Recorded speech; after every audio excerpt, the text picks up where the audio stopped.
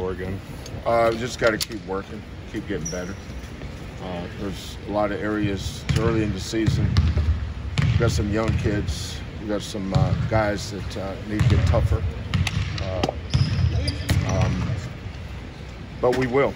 I mean, that's it's it's November. You know, I don't draw any conclusions. I find out. You know, every time we play a game, there's something that gets exposed. Why? Because we're not perfect.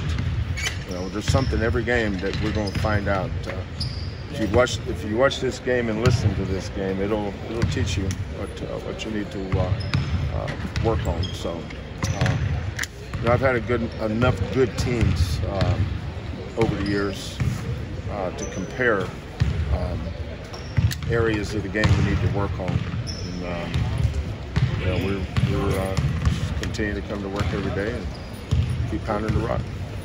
How do you feel your team's rebounded early in the first five games of the season? Need to get better.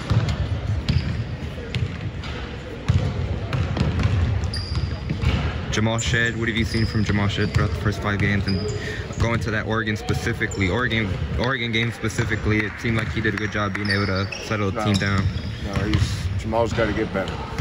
We, we, our pace has got to pick up. We're, we're, you know, we're winning way too much half-court offense. But all these things happen early in the season. You know, uh, if you're asking me about a specific part of the game, I'll tell you we're not good at anything. You know, so, so obviously you think something's wrong, or you wouldn't have asked the question uh, about rebounding. Uh, I think we're plus seven on the boards right now. For some people, that might be pretty good. But for us, we've got to get better. Everybody we play uh, is going to be bigger than us, uh, taller than us. You know, so. But we played uh, a lot of tall teams in the past. Last time I checked, I think Arizona had three seven footers. Um, but um, you know, there's not a part of the game, and I said this the other night after the game. There's not one single part of the game we're not going to get better at. But we're our, our pace is slow uh, right now, which means we're running too many half-court sets. You know, if you have to run, you let's say you have 65 possessions in a game, and offensively, 55 of those are against a, a set defense, you- you're not going to look good. It's going to be a grind. The other night, that game was a little bit too much of a grind. Now, we kept it moving offensively because we got, you know, we create a lot of offense off our defense. Um, but we got to get back to uh, doing a better job of getting, you know, we scored more second chance points than they did.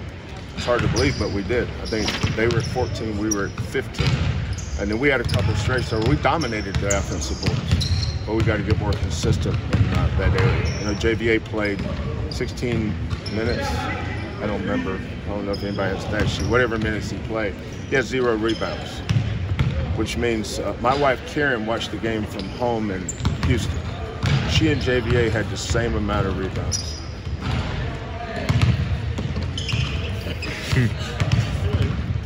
Uh, Problem is she she didn't try. He tried. That's that's, that's an issue right there.